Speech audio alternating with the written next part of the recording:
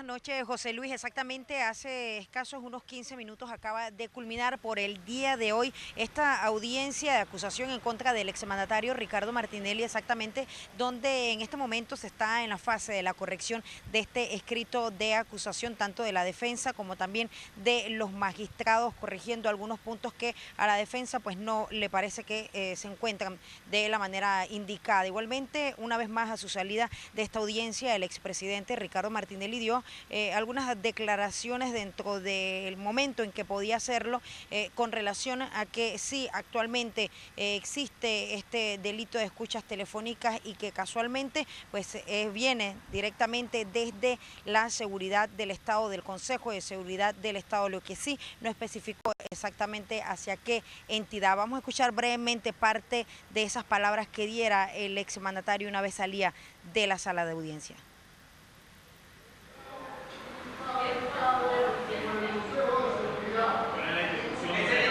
¿Cuál es, señor? ¿Cuál es la institución? ¿Y quién? ¿Cuál es, señor?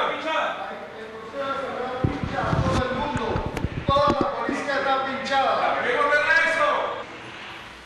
Bien, en estas palabras, cortas palabras, el exmandatario decía que el Consejo de Seguridad se mantiene con escuchas telefónicas a otras entidades del Estado, pero que en su momento revelará eh, de quién se trata o en este caso a qué entidad está sometida, en este caso a estos pinchazos telefónicos. Igualmente, pues eh, se mantiene todavía esa fase hasta el día de mañana, cuando a las 9 de la mañana se retome nuevamente esta audiencia para que a las 12 del día el expresidente pueda asistir a una cita médica. Posteriormente, a las 3 de la tarde del día jueves, se retomará pues esta audiencia nuevamente. De momento es parte de lo que ha ocurrido acá en la Corte Suprema de Justicia en la audiencia de acusación en contra del expresidente Martinelli.